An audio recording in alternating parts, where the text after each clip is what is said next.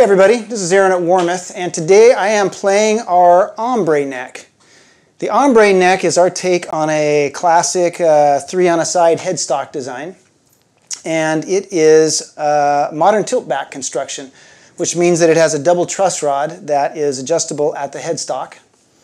This particular one is a 59 roundback profile, which is one of my favorite profiles. It's kind of a Goldilocks size for me, not too big, not too small.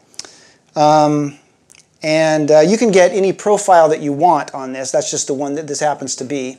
And you can get just about any other option that you like as well. This one has uh, white binding and it has uh, mother of pearl trapezoids and it has stainless steel 6150 frets which are my personal favorite.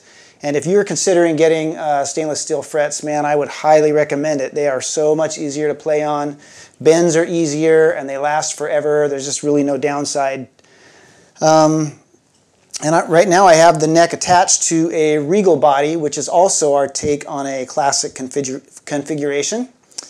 And this one has a solid mahogany back and a maple double lamb top. And uh, two humbuckers and the stop tail Tune-o-matic uh, bridge. And uh, together they just they make a guitar that is very very comfortable, very familiar uh, feeling and sounding. And uh, let me let me play a little bit and you kind of hear uh, what I'm talking about.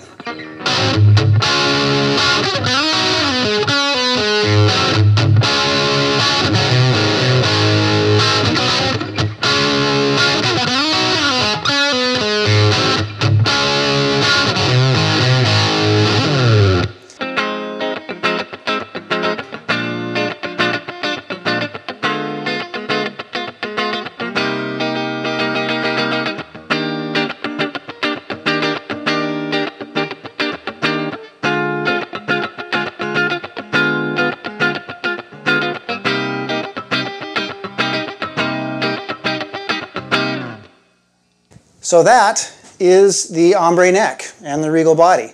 If you have a question on either one of these, give us a call and talk to our customer service reps. They have all the answers when it comes to this kind of stuff and they will never steer you wrong. And until next time, keep on picking.